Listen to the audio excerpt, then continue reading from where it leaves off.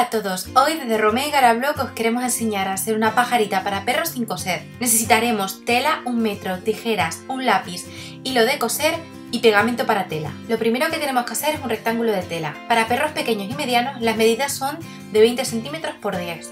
Una vez marcado el rectángulo de la tela lo cortamos. Ahora viene el paso más complicado. Primero doblamos los extremos superior e inferior de la tela hacia el centro y a continuación doblamos los extremos derecho e izquierdo también hacia el centro.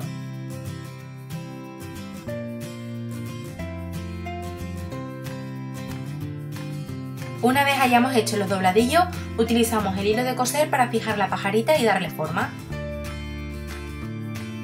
Apretamos fuerte para que no se afloje y cortamos el hilo sobrante. Ahora toca hacer la tira de tela que cubrirá la zona central de los hilos. Para ello cortaremos una tira de tela de unos 3 por 8 centímetros de largo. Hacemos un dobladillo para reforzar y lo pegamos. A continuación ponemos pegamento en la parte frontal de la pajarita, donde están los hilos, y ponemos la tira de tela que acabamos de hacer para cubrirlos. Apretamos bien y pegamos también la tira por detrás haciendo una anilla, dejando espacio para poder pasar un collar o una cinta. Ahora dejamos secar el pegamento y para que no se suelte y quede bien pegado hay que ponerle peso encima. Una vez haya secado el pegamento ya tienes tu pajarita lista.